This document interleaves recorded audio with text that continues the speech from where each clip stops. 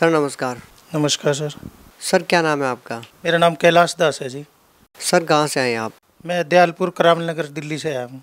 Sir संत रामपाल जी महाराज से नाम दीक्षा लेने से पहले क्या भक्ति साधनाएँ करते थे आप? सर मैं पहले हनुमान जी की पूजा करता था और कावड़ वगैरह लेके भी जाता था हरिद्वार भी जाता था सभी तीर्थों पे जाता था और फिर मैं अट्ठासी में मैंने ब्रह्मा कुमारी ज्वाइन किया था। और उसके बाद, वहाँ पे जैसे ही वो ज्ञान समझाते थे, उस ज्ञान से जो मेरे को पता लगा, उन्होंने बताया कि परमात्मा निराकार है और ये ब्रह्मा, विष्णु, शंकर है, ये भगवान है, मेरे को वो बात हजम नहीं हुई। और जब मैं उनसे प्रश्न करता था, वहाँ कई बार जो वो वहाँ पे पढ़ाते थे, उसे मुरली कहते थे।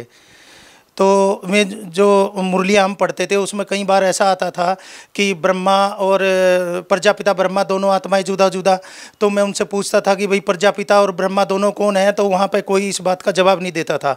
तो मैं वहाँ पे वो मुरलियाँ पढ़ पढ़ के भ्रमित हो गया। और मेरे को जब वो ये कहते थे कि परमात्मा निराकार है तो मेरे को वो बात हजम नहीं होती थी। और मैं वहाँ पर मतलब उनसे जब उत्तर करता था, प्रश्न करता था उन चीज़ों के तो मेरे को वहाँ पर कोई उत्तर नहीं मिलता था इस चीज़ का।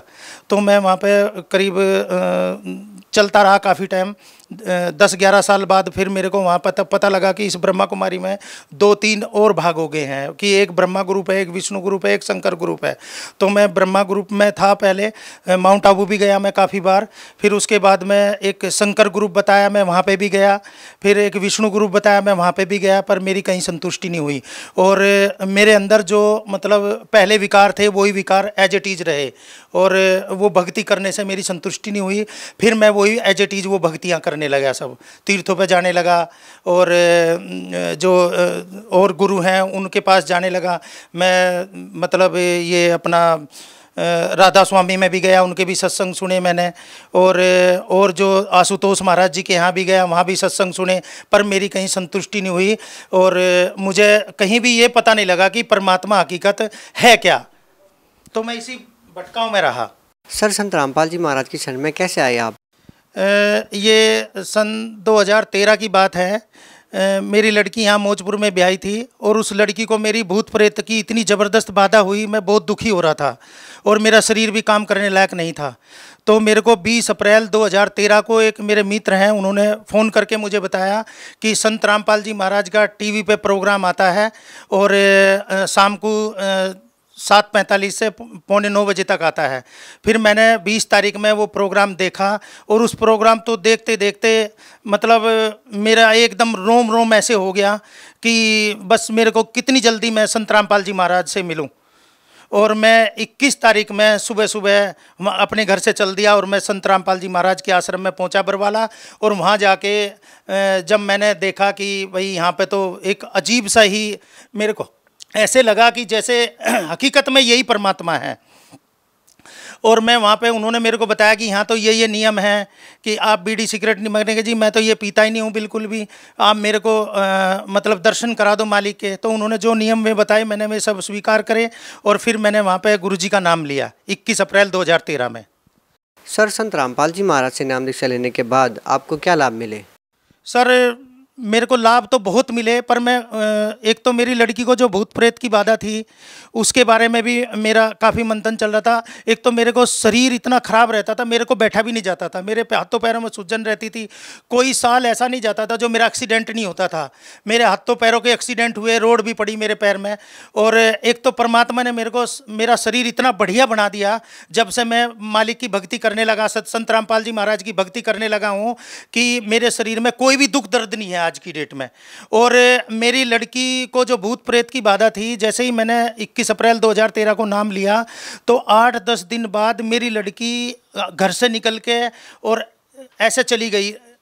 तो वहाँ से मुझे पता लगा कि लड़की पता नहीं इधर उधर कहाँ चली गई, उसमें भूत प्रेत उसको बहुत परेशान कर रहे थे।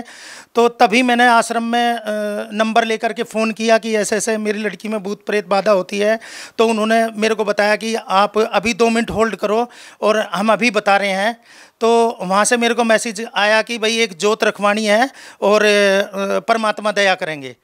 तो उसके बाद जैसे ही मैं मतलब घर के पास गया तो उधर से मेरी लड़की और मेरी घरवाली, दोनों घरवाली भी ढूँढने गई थी। लड़की को लड़की आई और उसने बताया कि पापा मुझे तो वहाँ से ट्रक के नीचे फेंक दिया था किसी ने और एक सफ़ेद कुर्ते पजामे में आए।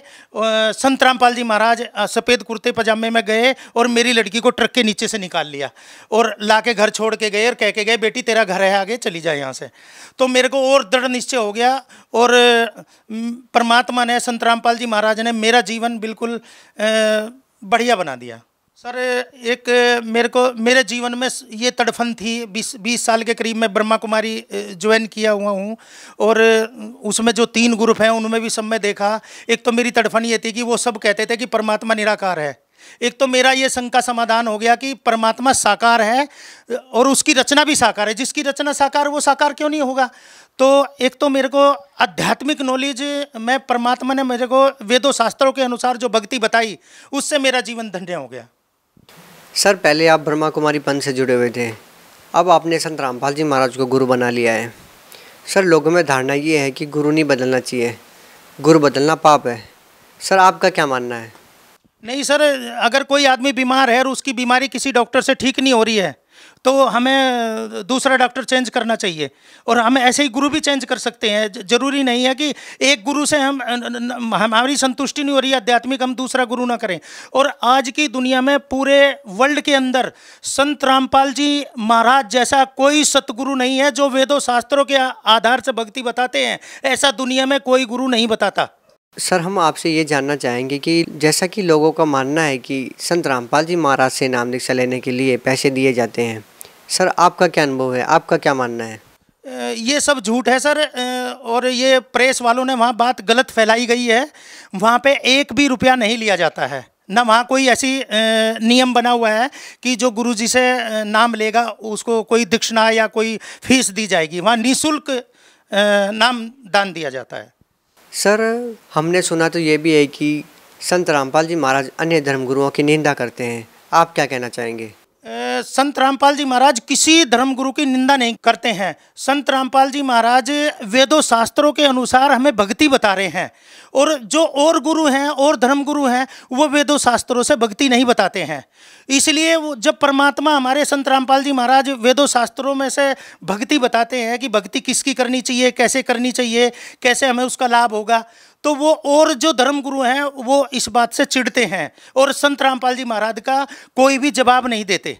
इसलिए उन्हें घृणा होती है संत रामपाल जी महाराज से। संत रामपाल जी महाराज वेदों शास्त्रों के अनुसार भक्ति बताते हैं और वेदों शास्त्रों के अनुसार भक्ति करने से ही हमें मोक्ष मिल सकता है और कोई रास्ता नहीं है मोक्ष का। सर, हम आपसे एक और बात जानना चाहेंगे कि संत रामपाल जी महाराज अभी जेल में हैं, उसके बाद भी आप संत रामपाल जी महाराज के दर्शन के लिए हिसार जाते हैं। सर, आप क्यों हिसार जाते हैं? आप घर पर बैठकर भक्ति क्यों नहीं करते? संत रामपाल जी महाराज अभी जेल में हैं आप लोगों का अभी भी वैसा ही भाव है। सर, आप लोगों को कैसा लगता है? सर, जो संत रामपाल जी महाराज हैं, पहली तो बात, दुनिया के हिसाब से वो जेल में है, हमारे हिसाब से जेल में नहीं है संत रामपाल जी महाराज। संत रामपाल जी महाराज पूर्ण ब्रह्म हैं और हमारे भगवान हैं। जहाँ संत रामपाल जी महाराज रहते हैं, हमारा वही धाम है। हमारे लिए वो आज की डेट में जेल नहीं है और संत रामपाल जी महाराज हकीकत में जेल में नहीं है, हमारे दिलों में रहते हैं। जितने भी संत रामपाल जी महाराज के भगत हैं उन सब के दिलों में संत रामपाल जी महाराज बसते हैं और जो सतगुरु है, वो कभी जेल में नहीं होता है। वो तो उनकी एक लीला है। उस लीला उस लीला को सारे संसार में इस ज्ञान को समझाने के लिए, इस ज्ञान को फैलाने के लिए परमात्मा ये लीला कर रहे हैं। जो इस ज्ञान को नहीं समझ रहे, उनके लिए जेल है, हमारे लिए कोई जेल नहीं है। हमारे लिए वो धाम है। सर, जो लोग संत रामपाल जी महाराज से जुड़ना चाहते हैं, वो संत रामपाल जी महाराज से कैसे जुड़ सकते हैं? उनके लिए क्या व्यवस्था है? जो टीवी पर हमारा जो संत रामपाल जी महाराज का प्रोग्राम आता है, उस पर एक पीली पट्टी आती है नीचे टीवी पर। उसमें जो नंबर हैं, उन नंबरों पे अगर हम फ़ोन करेंगे, उन नंबरों पे जो फ़ोन करेंगे, वहाँ से एक ज्ञान गंगा बुक निःशुल्क दी जाती है और वहाँ पे फ़ोन करके हम संत रामपाल जी महाराज से जुड़ सकते हैं। सर, संत रामपाल जी महाराज के अनुयायियों द्वारा दीवारों पर कुछ पोस्टर चिपकाए गए हैं। उन पर एक पर्सन लिखा हुआ है, पूर्ण संत की क्या पहचान है? सर, क्या है पूर्ण संत की पहचान? सर, ये परमात्मा की वाणी में एक लिखा हुआ है अक्षर पुरुष एक पेड़ है, निरंजन वाकी डार तीन देवा शाखा है, पातरूप संसार, कि जो इस कल्प रूपी वृक्ष को जड़ से लगाकर पत्तों तक, तनों तक एक्यूरेट बता देगा, वही तंत्रदर्शी संत होगा, वही पूर्ण परमात्मा होगा, वही पूर्ण ब्रह्म होगा। सर, हिंदुस्तान में बहुत सारे धर्मगुरु हैं। आपने संत रामपाल जी महाराज से नाम दीक्षा क्यों ली? सर, मैंने जितने भी करीब करीब धर्मगुरु हैं, कोई ऐसा नहीं छोड़ा है जिनका लिटरेचर या उनसे बाईफेस में ना मिला हूँ, पर सभी ने ज़्यादातर निराकार बताया परमात्मा को। एक संत रामपाल जी महाराज ऐसे हैं जो भगवान को साकार बताते हैं और वो स्वयंभू हैं। परमात्मा, संत रामपाल जी महाराज जो ज्ञान देते हैं, वेदों शास्त्रों से टेली करा के ज्ञान देते हैं और परमात्मा साकार है, न कि निराकार है। और वो परमात्मा स्वयं आकर के सारे वेदों शास्त्रों का सार समझाते हैं और सारी दुनिया को बताते हैं कि परमात्मा साकार है और आकर के मोक्ष का रास्ता बताते हैं। सर, कुछ लोगों का मानना है कि संत रामपाल जी महाराज के शिष्य अंधभक्ति के तहत उनसे जुड़े हुए हैं। सर, आप लोगों के विचार में, अंधभक्ति में और भक्ति में क्या डिफरेंस है? जो सतगुरु रामपाल जी महाराज ने जो हमें भक्ति बताई है, वो वेदों शास्त्रों के अनुसार बताई है। और जो धर्मगुरु हैं दुनिया के, वो शास्त्रों के अनुसार भक्ति नहीं बताते हैं। जो शास्त्रों के अनुसार नहीं बताते, वो अंधभक्ति है। और जो शास्त्रों के आधार से भक्ति बताते हैं, वो भक्ति है। सही भक्ति वो है मोक्ष की। जो संत रामपाल जी महाराज वेदों शास्त्रों से बताते हैं, वो भक्ति सही है। जो शास्त्रों के अनुसार नहीं बताते, वो अंधभक्ति है। दुनिया उस पर लगी हुई है, उसका, उनका कोई आधार नहीं है। उनको कोई मोक्ष का रास्ता नहीं पता है। संत रामपाल जी महाराज जो बताते हैं हमारे वो शास्त्रों के अनुसार भक्ति बताते हैं। उसी से हमारा मोक्ष होगा। सर अभी आपने कहा है कि संत रामपाल जी महाराज की शरण में आए और अपना कल्याण करवाएँ। सर संत रामपाल जी महाराज तो अभी जेल में हैं तो उनकी शरण में कैसे आए? हमारे जो टीवी पर संत रामपाल जी महाराज का जो प्रोग्राम चलता है उस पर नीचे पीली पट्टी पे जो फ़ोन नंबर आते हैं हम उन पे फ़ोन करके संत संत रामपाल जी महाराज की नाम देने की व्यवस्था शुरू हो रही है और वहाँ पर फ़ोन करके हम नाम दीक्षा ले सकते हैं। सर आपसे अंतिम क्वेश्चन पूछना चाहेंगे कि आप भगत समाज को क्या संदेश देना चाहते हैं? मैं भगत समाज को ये संदेश देना चाहता हूँ कि संत रामपाल जी महाराज की शरण में आने से ही मोक्ष मिलेगा और जो आज समाज सब पढ़ा लिखा है कोई अनपढ़ तो है नहीं पर भगवान ने ये सारी शिक्षा स्टेम उतारी है संत रामपाल जी महाराज जो हैं, वो वेदों शास्त्रों के अनुसार भक्ति बता रहे हैं। जितने भी हमारे वेद हैं एक एक चीज़ खोल खोल के उनमें बता रहे हैं। और जो अंधश्रद्धा भक्ति वाले जो जितने भी गुरु हैं, वो उस चीज़ को नहीं मान रहे हैं। वो किसी को देख करके चल रहे हैं, उनके भगत।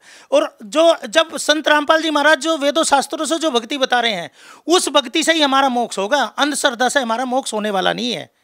तो इसलिए सभी भक्त समाज से मेरा हाथ जोड़कर अनुरोध है कि संत रामपाल जी महाराज की शरण में आइए और अपना मोक्ष कराइए। सर बहुत बहुत धन्यवाद।